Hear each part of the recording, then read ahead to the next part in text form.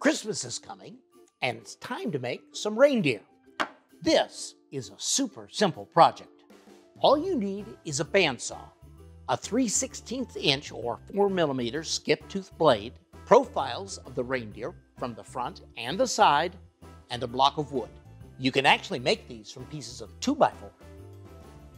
Trace the side template on the edge and the front template on the face. Cut the side profile first, saving the scraps.